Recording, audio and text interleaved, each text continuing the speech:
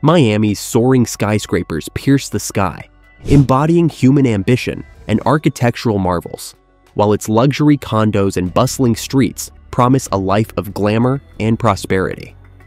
Yet, beneath this shimmering facade lies a grave and increasingly alarming reality. Miami is sinking.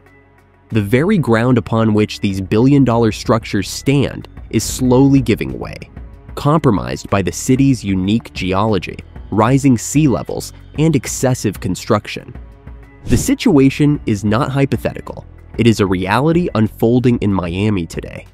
What will happen when the weight of these skyscrapers become too much for the Earth to bear? From the tragic collapse of the Champlain Towers South to unsettling scientific studies, the evidence of the sinking crisis is undeniable. Will Miami find a way to adapt, or will it succumb to the forces beneath its feet? Join us today as we delve into Miami's $100 billion skyscrapers that are now sinking. Don't forget to click on that subscribe button and like this video, as it's the best way to support this channel. Over the past few decades, Miami has undergone a remarkable transformation evolving from a modest coastal city to a global hub for tourism, finance, and real estate. The skyline, adorned with gleaming skyscrapers, is a hallmark of this transformation.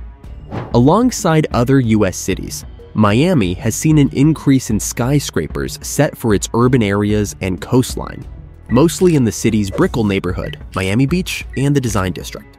Notably, several of these skyscrapers are the first residential or mixed-use developments from fashion brands such as Dolce & Gabbana, and automotive brands, including Bentley and Mercedes-Benz. Fueled by an influx of domestic and international investment, Miami's real estate market has thrived. Wealthy individuals from around the world have purchased luxury apartments in these high-rises, transforming the city into a playground for the rich. However, this rapid urbanization has come at a cost. The construction of these skyscrapers often overlooks the unique environmental challenges posed by Miami's geographical location. Recent studies point to the unsettling reality that some of Miami's skyscrapers are sinking.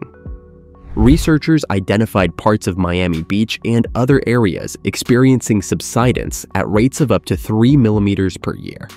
While these rates may seem negligible, they are significant when compounded over decades particularly for structures that were not designed to accommodate such shifts.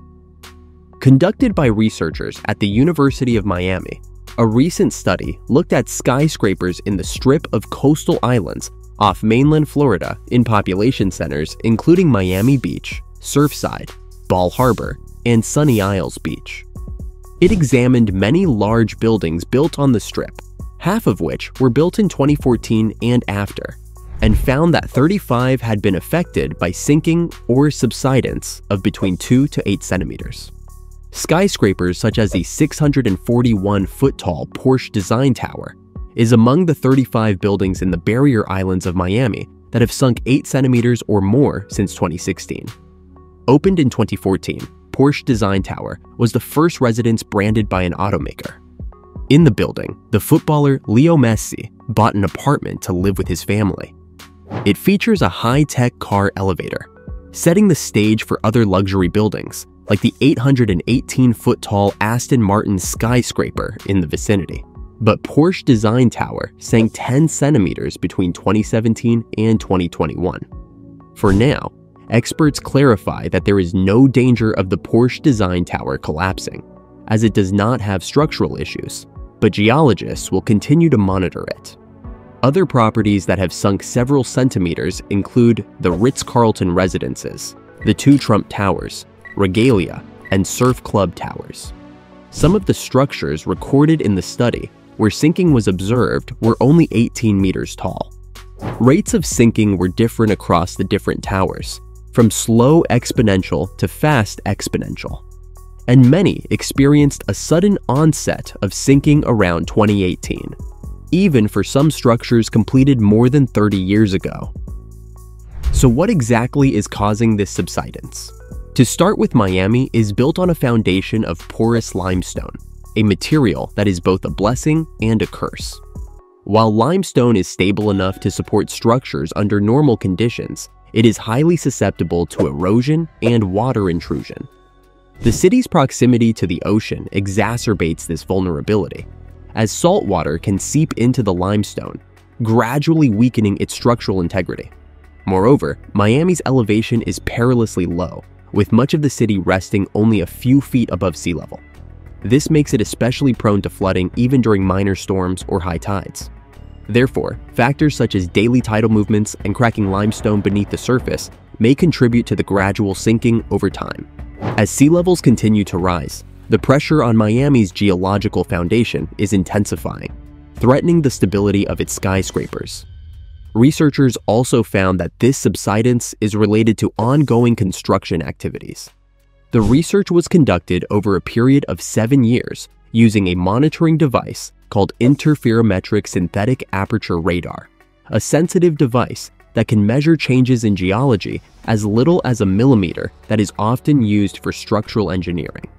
The reasons given for the sinking were the inconsistent layers of limestone and natural groundwater movements, with the study suggesting that much of the observed sinking occurs due to the shifting of sand grains triggered by the weight of the high rises and the vibrations from construction. In terms of long-term structural damage, the main problem for buildings is when parts of the ground underneath and around buildings sink at uneven rates.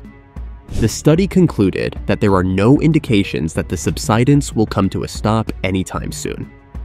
The study also noted that construction could trigger the sinking of a nearby structure, such as the documented sinking of the site of an in-progress Bentley skyscraper due to the construction of the nearby Turnberry Ocean Club skyscraper. This study follows the 2021 collapse of Champlain South Condominium Tower in Surfside, which killed 98 people. This accident served as a tragic wake-up call. While the exact cause of the collapse remains a topic of investigation, subsidence and the building's proximity to water are considered contributing factors. This disaster has drawn attention to the vulnerabilities of older buildings and raised concerns about the long-term stability of newer, taller skyscrapers. Following the collapse, Zaha Hadid Architects released designs for a 12-story luxury condominium on the Champlain Tower site. Despite the sinking crisis, construction continues in Miami on massive structures. Recently, architecture studio Arquitectonica completed the 48-story Five Park skyscraper in Miami Beach, the tallest in the city.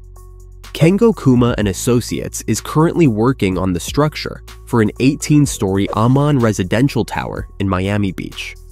On mainland Miami, which was not covered in the study, there are plans for several massive skyscrapers, Bentley Residences, a joint venture between Sieger Suarez Architects and Dezer Development, is the first branded residential project in the US from Bentley. The skyscraper is set to have a car elevator that will transport drivers from ground level to their respective apartments and will also be able to rotate the vehicles to correct their orientation. Set to break ground in 2025, another development is the 1201 Brickell Bay Drive skyscraper, which is part of a larger future mixed-use development by Foster and Partners located in the city's Brickell neighborhood. Another skyscraper, 888 Brickell, by Dolce & Gabbana and Studio Sofield is set to rise 1,049 feet high, with completion slated for 2028. One of the largest projects currently under construction in Miami is Mercedes-Benz Places by SHOP Architects. It will be the first branded skyscraper by the German car brand and will be located in Miami's Brickell neighborhood. Developers are also racing to build another skyscraper. The Waldorf Astoria Miami is set to be the first super tall skyscraper completed in Miami at 1,049 feet high. It is made up of a series of stacked offset cubes meant to be an iconic sculpture that defies the laws of gravity, according to architect Carlos Ott. With all these skyscrapers coming up, the question is no longer whether Miami can afford to address this crisis, but whether they can afford not to. The time to act is now. The crisis of sinking skyscrapers is not unique to Miami. Cities around the globe, from Manhattan to Shanghai, face a similar fate, highlighting the universal challenges of urbanization in the era of climate change. Manhattan's iconic skyline is slowly pressing into the earth, and in China, home to over half of the world's 100 tallest buildings, the issue is just as pressing, with structures in Shanghai and Guangzhou sinking due to subsidence and waterlogged foundations. These parallels underscore the global nature of this crisis, emphasizing the urgent need for innovative engineering, sustainable urban planning, and international cooperation. What are your thoughts on Miami's skyscrapers sinking? Leave a reply in the comments section. Thanks for watching, and see you in the next video.